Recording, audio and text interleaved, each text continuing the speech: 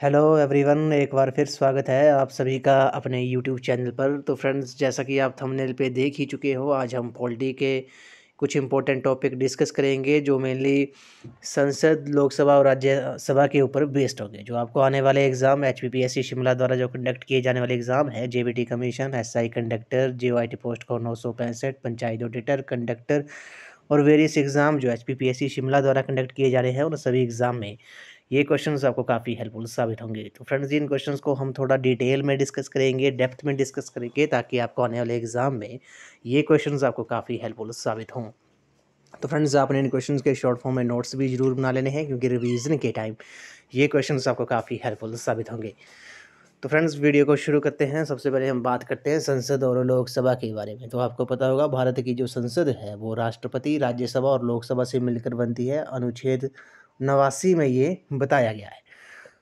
Question काफ़ी important है तो भारत की संसद किस किस को मिलाकर बनती है? राष्ट्रपति, राज्यसभा और लोकसभा को मिलाकर भारत की जो संसद है, वो बनती है। आर्टिकल सेवेंटी नाइन में ये बोला गया है, ये आपने नोट डाउन कर लेना है। अब हम बात करते हैं लोकसभा के बारे में तो लोकसभा के बारे में हम डिटेल में डिस्कस करेंगे। लोकसभा जो है, वो संघीय संसद का निम्न और लोकप्रिय सदन है, ये आपको पता होना चाहिए। लोकसभा जो है वो लोकप्रिय सदन है, निम्न सदन है। ये भी आपको पता होना चाहिए, लोकसभा की जो अधिकतम संख्या है, वो पाँच सौ बावन हो सकती है, ये आपने याद रखना है। वर्तमान में जो इसकी व्यावहारिक सदस्य संख्या है, वो पाँच सौ पैंतालीस है, ये आपने याद रखना है। लोकसभा की जो अधिकतम संख्या है, वो कितनी हो सकती है, वो पाँच हो सकती है, ये आपने याद रखना है। और जो निर्वाचकों की जो आयु होती है, वो अठारह वर्ष होती है, ये भी आपने याद रखना है, काफ़ी इंपॉर्टेंट क्वेश्चन है। अब लोकसभा सदस्य की जो योग्यताएँ होती हैं, उनके बारे में भी हम थोड़ा डिटेल में डिस्कस कर लेते हैं। लोकसभा सदस्य की जो योग्यताएँ होती है वह भारत का नागरिक होना चाहिए। उसकी आयु पच्चीस वर्ष या इससे अधिक हो तो ये आपने याद रखना है। लोकसभा सदस्य बनने के लिए जो न्यूनतम आयु है, वो कितनी होनी चाहिए? वो पच्चीस वर्ष होनी चाहिए, ये क्वेश्चन जो है, वो कई बार पूछा गया है। और भारत सरकार अथवा किसी राज्य सर, सरकार के अंतर्गत वे कोई लाभ का पद धारण ना किए हुए हो ये जो है तीन प्रमुख जो हैं वो लोकसभा सदस्य की योग्यताएँ हैं। पच्चीस वर्ष न्यूनतम आयु होनी चाहिए ये आपने नोट डाउन कर लेना है। क्वेश्चन ये कई बार एग्ज़ाम में पूछा गया है। अब बात करते हैं कार्यकाल के बारे में तो लोकसभा का जो कार्यकाल होता है वो पाँच वर्ष का होता है ये भी काफ़ी इंपॉर्टेंट है। भैया दो हज़ार चौबीस में लोकसभा के आम चुनाव होने हैं ये भी आपको पता है। उसके बाद बात करते हैं अधिवेशन के बारे में। तो अधिवेशन लोकसभा और राज्यसभा के अधिवेशन जो है, वो राष्ट्रपति के द्वारा ही बुलाए और स्थगित किए जाते हैं। ये भी आपने याद रखना है कि लोकसभा के लोकसभा और राज्यसभा के जो अधिवेशन होते हैं, वो किसके द्वारा बुलाए जाते हैं, किसके द्वारा स्थगित किए जाते हैं? तो ये आपको पता होगा, ये राष्ट्रपति के द्वारा ही बुलाए जाते हैं और राष्ट्रपति के द्वारा ही स्थगित किए जाते हैं।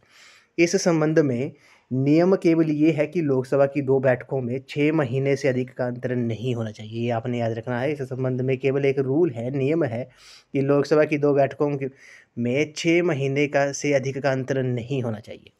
अब बात करते हैं अध्यक्ष के बारे में तो लोकसभा स्वयं ही अपने सदस्यों में से एक अध्यक्ष और एक उपाध्यक्ष का निर्वाचन करती है। प्रेजेंट में आपको पता होगा, लोकसभा अध्यक्ष जो है वो श्री ओम बिड़ला है। शक्तियाँ कौन कौन सी हैं? लोकसभा के पास ये भी हम डिटेल में डिस्कस कर लेते हैं। संविधान संशोधन संबंधी शक्ति है, ये आपको पता होगा। मतलब अमेंडेंट की इनके पास पावर है लोकसभा के पास। लोकसभा और राज्यसभा मिलकर राष्ट्रपति तथा सर्वोच्च न्यायालय और उच्च न्यायालयों के न्यायाधीशों के विरुद्ध महाभियोग का प्रस्ताव जो है वो पास कर सकती है।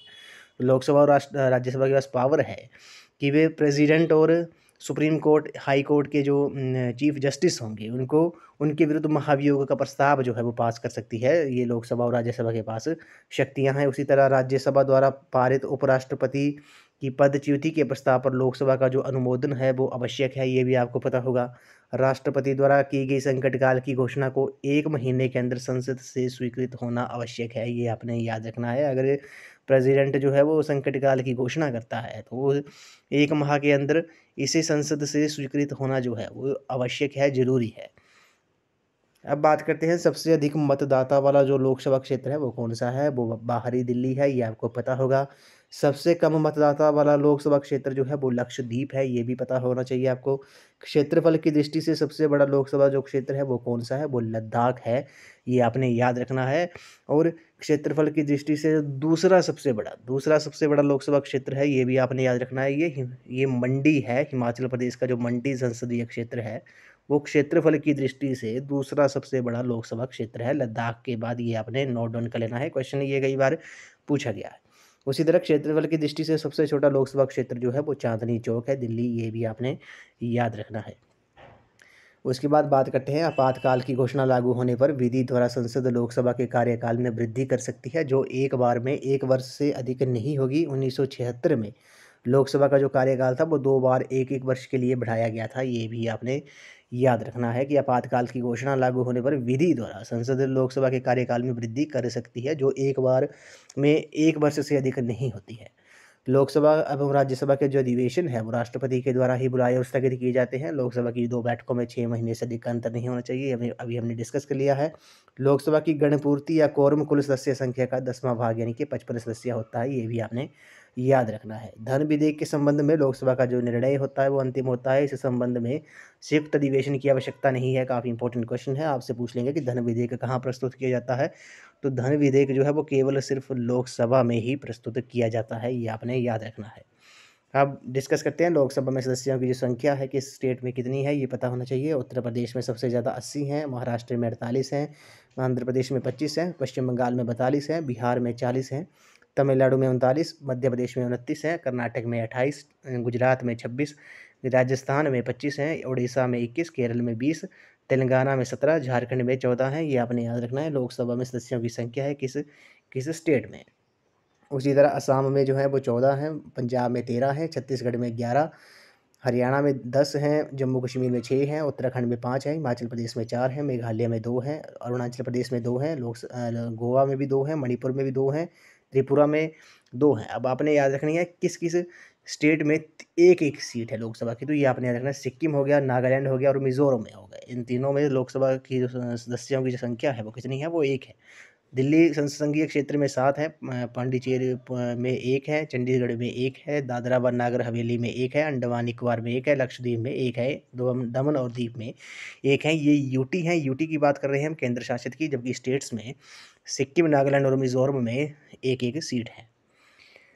उसके बाद बात करते हैं संसद भवन के बारे में। संसद भवन जो है, ये एक वृत्ताकार भवन है, जिसका डिज़ाइन जो था वो आर्किटेक्ट सर एडविन लुंडियंस और सर हेवर्ट ब्रेकर ने 1912 और 13 में तैयार किया था। संसद की जो नींव है, वो 12 फरवरी 1921 को रखी गई अभी हाल ही में नए संसद भवन का भी काम चल रहा है। आपको पता होगा भी आपने सोशल मीडिया वगैरह पे भी नए संसद भवन की फ़ोटोज़ देखी होंगी तो अब वो नया संसद भवन भी बन रहा है।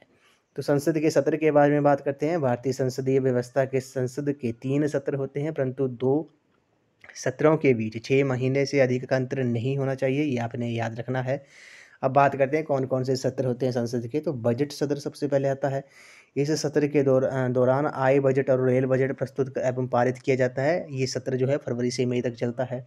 मानसून सत्र जो है इस सत्र की सत्र की जो कार्यविधि है, वो जुलाई से अगस्त महीने के तक होती है। शीतकालीन सत्र सबसे कम समय की अब कार्यविधि है, जो नवंबर से दिसंबर तक होती है। तो सबसे छोटा अगर आपसे पूछा है कि संसद का सबसे छोटा सत्र कौन सा है, वो शीतकालीन है, सबसे लंबा जो है वो बजट सत्र है, ये आपने याद रखना है। अब बात करते हैं संसद की सदस्य की जो समाप्ति होती है, वो कब कब होती है? कोई भी सदस्य संसद की सदस्य से वंचित किया जा सकता है। यदि वे बिना किसी सूचना के साठ दिन तक संसद से अनुपस्थित रहता है तो उसकी सदस्य जो है वो समाप्त कर दी जा सकती है। वे पार्टी के निर्देशन के विरुद्ध वोट डालता है अथवा वोट देने नहीं जाता, तब भी उसकी संसद की सदस्य समाप्त की जा सकती है। वे स्वेच्छा से उस दल की सदस्य त्याग देता है, जिसके टिकट से वे सदन का सदस्य निर्वाचित हुआ था। ये भी जो है वो संसद की सदस्य की समाप्ति इस कारण भी हो सकती है कि वे अगर अपनी इच्छा से उस दल की सदस्य त्याग देता है, जिसके टिकट से वे संसद का सदस्य निर्वाचित हुआ हो।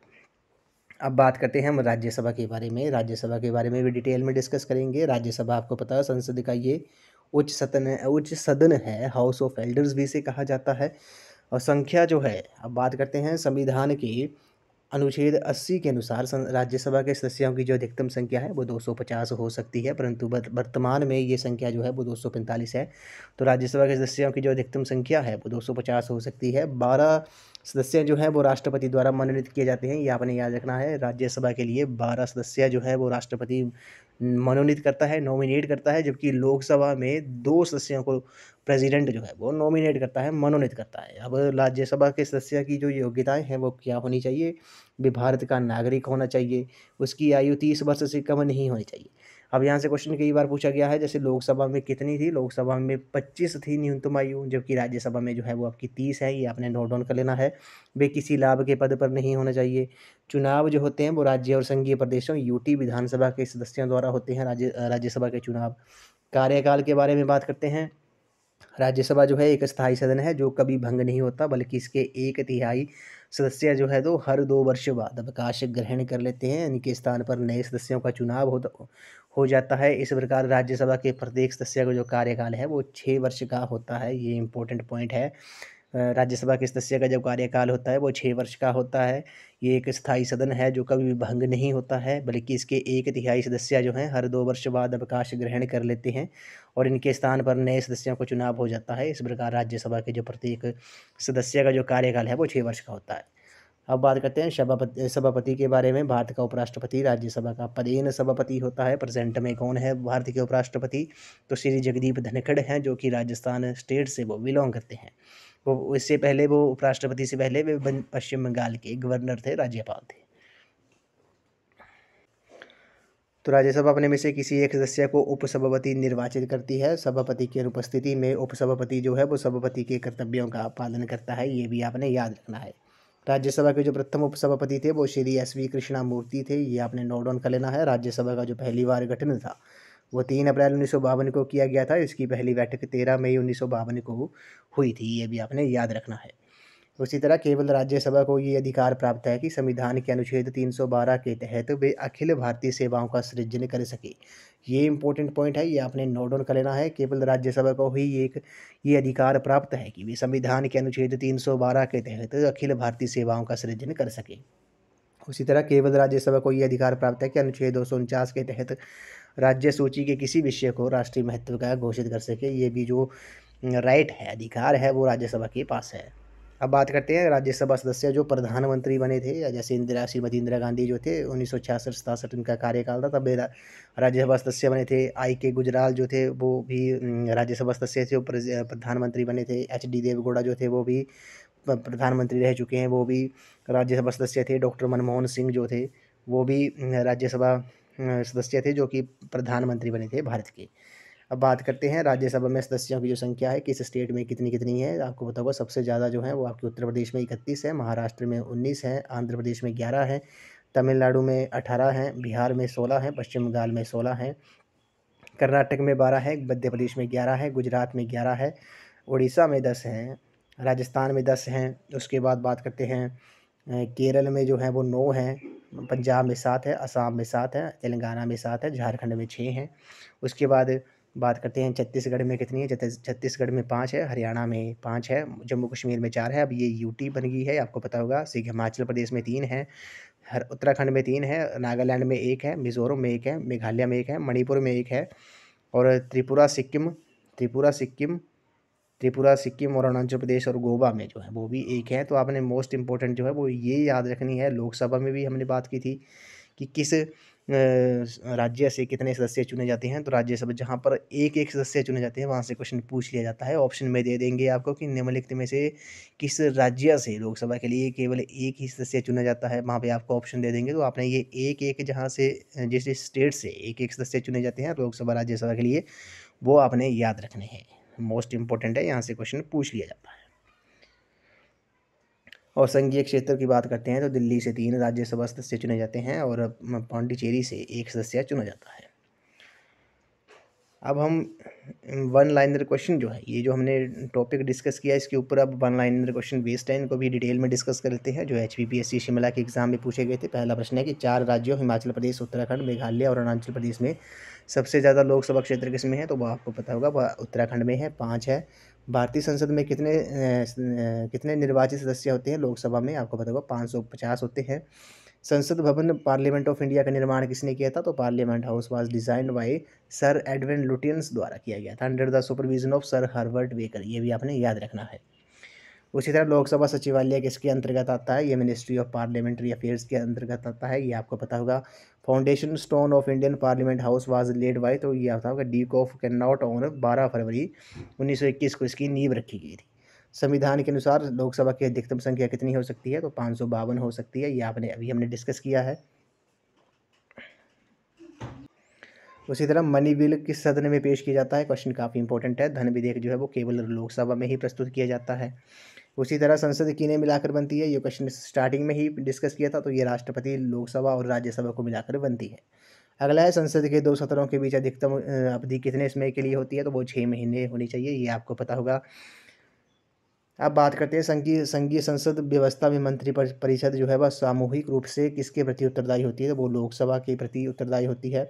अगला है, the authority of alter of the boundaries of state in India rest with. तो ये पार्लियामेंट के पास शक्ति है कि वो राज्य की सीमा का निर्धारण करे, ये पार्लियामेंट के पास ये शक्ति है। उसी तरह प्रतिदिन संसद की कार्यवाही प्रारंभ होती है। किससे होती है? वो प्रश्नकाल से होती है, क्वेश्चन आवर से होती है। नो कॉन्फिडेंस मोशन अविश्वास प्रस्ताव इज़ मूव्ड इन तो ये आपको पता होगा, ये अविश्वास प्रस्ताव जो है वो केवल लोकसभा में ही प्रस्तुत किया जाता है। धन विधेयक को संसद में किसकी स्वीकृति से प्रस्तुत किया जा सकता है? ये राष्ट्रपति की प्रस्तुति, राष्ट्रपति की स्वीकृति से प्रस्तुत किया जा सकता है। लोकसभा सदस्य बनने के लिए न्यूनतम आयु कितनी आवश्यक है? पच्चीस है। भारतीय संसद अपशिष्ट व्यय शक्तियों का प्रयोग सकती है, कब कर सकती है? वो हमेशा कर सकती है। और लोकसभा में बहुमत के लिए कितनी सीटों की आवश्यकता होती है? तो दो सौ बहत्तर होगी। अभी अगले वर्ष चुनाव है, आम चुनाव है लोकसभा के। किसके अनुमोदन के बिना ना कोई कर लगाया जा सकता है और ना खर्च किया जा सकता है? तो वो संसद है, ये आपको पता होगा। अगला है, लोकसभा स्थगित करने की शक्ति जो है वो निहित है, किसमें है? वो राष्ट्रपति में है। किसी सदन का कोरम पूरा होने करने के लिए कम से कम कितने सदस्यों की उपस्थिति होनी चाहिए? तो कुल सदस्यों का दसवां भाग। संसद के संयुक्त सत्र की अध्यक्षता कौन करता है? लोकसभा अध्यक्ष करता है, ये आपको पता होगा। और संसद के जो संयुक्त सत्र होते हैं, वो किसके द्वारा बुलाए और स्थगित किए जाते हैं, ये आपको पता होगा, ये प्रेसिडेंट द्वारा। उसी तरह स्पीकर द्वारा स्वीकृत किए जा सकने से पूर्व लोकसभा के कितने न्यूनतम सदस्यों का सरकार के विरुद्ध अविश्वास प्रस्ताव को समर्थन देना आवश्यक है तो पचास है। विनियोग विधेयक के पास होने से पहले सरकार का कामकाज चलाने के लिए जो अग्रिम अदायगी स्वीकृत की जाती है, उसे क्या कहते हैं? उसे वोट ऑन अकाउंट कहा जाता है। लोकसभा में विरोधी दल के रूप में मान्यता पाने के लिए किसी राजनीतिक दल के कम से कम कितने सदस्य होने अनिवार्य हैं? तो पचपन होनी चाहिए, ये आपको पता होगा। वर्तमान जो लोकसभा है, वो कौन सी है? वो अब सत्रहवीं है, ये आपने याद रखना, ये सोलहवीं बताई है यहाँ पे, दो चौदह से उन्नीस तक। की अभी अभी जो है प्रेजेंट में, वो सत्रहवीं है, दो हज़ार उन्नीस से चौबीस तक। अगला प्रश्न है, zero hour time is in the Indian parliament तो ये आपका बारह दोपहर के बारह से एक दोपहर के एक बजे तक होता है। अगला प्रश्न है who holds the record of having polled highest number of votes for getting elected to the Lok Sabha? तो ये प्रीत मुंडे थे, ये बात है 2014 और 2014 में लोकसभा जो चुनाव हुए थे, उसमें उसमें ये बोला गया है। अब क्वेश्चन डिस्कस करते हैं राज्यसभा के बारे में। राज्यसभा का जो सदस्यों का जो कार्यकाल होता है, वो कितना वर्ष का होता है? संसद का कार्यकाल जो है, सदस्यों का जो कार्यकाल होता है, वो छः वर्ष का होता है। स्थायी सदन है, जो कभी भंग नहीं होता। राज्यसभा के निर्वाचित सदस्यों की संख्या कितनी है? वर्तमान पता है दो सौ अड़तीस है। बारह सदस्य जो है वो राष्ट्रपति द्वारा मनोनीत किए जाते हैं। लोकसभा में, लोकसभा के लिए प्रेसिडेंट जो है वो दो सदस्य मनोनीत करता है। राष्ट्रपति राज्यसभा के लिए कितने सदस्य मनोनीत करता है? अभी डिस्कस किया, बारह करता है। राज्यसभा का उपसभापति कौन होता है? वाइस प्रेसिडेंट होता है। प्रेसिडेंट में कौन है? श्री जगदीप धनखड़ है।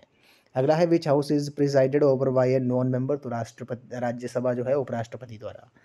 अगला है what is minimum age required to elected as the member of Rajya Sabha? तो राज्यसभा सदस्य बनने के लिए तीस वर्ष जो है वो न्यूनतम आयु होनी चाहिए, जबकि लोकसभा के लिए पच्चीस होनी चाहिए। राज्यसभा के जो सदस्य हैं, वो राज्य विधानसभा के सदस्यों द्वारा निर्वाचित होते हैं। राज्यसभा के सदस्य चुने जाते हैं छः वर्ष की अवधि के लिए। विधानसभा के सदस्य द्वारा राज्यसभा के सदस्यों को चुना जाता है। गुप्त मतदान द्वारा, ये भी आपने याद रखना है। राज्यसभा के अधिकतम सदस्यों की संख्या कितनी हो सकती है? दो सौ पचास हो सकती है। राज्यसभा का स्थायी सदन होने के कारण इसके एक दिहाई सदस्य जो है, वो हर दो वर्ष बाद रिटायर हो जाते हैं, सेवानिवृत्त हो जाते हैं। इस वीडियो को लास्ट क्वेश्चन है, वर्तमान में राज्यसभा के डैश सदस्यों से गठित है तो दो सौ पैंतालीस से है। ये क्वेश्चन जो है वो 2014 में के आंकड़ों के आधार पर है, जो है ये दो सौ पैंतालीस। तो वर्तमान में राज्यसभा जो थी अभी आपने पता होगा, ये वर्तमान में राज्यसभा जो है दो सौ पैंतालीस सदस्यों से गठित है। बारह सदस्य जो है वो प्रेसिडेंट नॉमिनेट करता है, दो सदस्यों लोकसभा को नॉमिनेट कर लोकसभा में नॉमिनेट करता है प्रेसिडेंट तो फ्रेंड्स आपने कमेंट सेक्शन में ज़रूर बताना है कि राज्यसभा की हिमाचल प्रदेश से राज्यसभा के लिए कितने सदस्य चुने जाते हैं, ये आपने कमेंट सेक्शन में ज़रूर बताना है। तो फ्रेंड्स आज की इस वीडियो में बस इतना ही। आज हमने संसद, राज्यसभा और लोकसभा के बारे में डिटेल में डिस्कस किया, जो आपको आने वाले एग्ज़ाम में काफ़ी हेल्पफुल साबित होंगे। तो फ्रेंड्स आई होप आपको वीडियो पसंद आई होगी तो वीडियो को लाइक शेयर एंड सब्सक्राइब ज़रूर कर दें। तो फ्रेंड्स अगर आप एच पी टेट की तैयारी भी कर रहे हो तो इसके लिए भी मैंने एक अलग से प्ले लिस्ट है जिसका जो लिंक है मैंने डिस्क्रिप्शन बॉक्स में दे दिया है। आप वहाँ पर जाकर वीडियोस देख सकते हो। वहाँ पर आप, आपको एच पी के regarding one fifty plus videos आपको देखने को मिलेंगी। अगर आप H P U B Ed entrance दो हज़ार तेईस की तैयारी भी कर रहे हो तो इसके लिए भी मैंने एक अलग से प्ले लिस्ट बनाई है, जिसका जो लिंक है मैंने डिस्क्रिप्शन बॉक्स में दे दिया है। आप वहाँ पर जाकर वीडियोस देख सकते हो। वहाँ पर आपको थर्टी फाइव थर्टी सिक्स के नियर आपको वीडियोस देखने को मिलेंगी H P B Ed entrance के रिलेटेड जो आपको काफ़ी हेल्पफुल साबित होंगी। अगर आप आपको लगता है किसी क्वेश्चन का मैंने आंसर गलत बता दिया है तो आप कमेंट सेक्शन में ज़रूर बताएँ, या फिर अपनी तरफ़ से कोई भी सुजेशन हो आप तो आप कमेंट सेक्शन में आप ज़रूर ज़रूर सुजेशन दे सकते हो तो ये आपने कमेंट सेक्शन में बताना है। तो फ्रेंड्स आज की इस वीडियो में बस इतना ही आई होप आपको वीडियो पसंद आई होगी तो वीडियो को लाइक शेयर एंड सब्सक्राइब ज़रूर कर दें। Thank you friends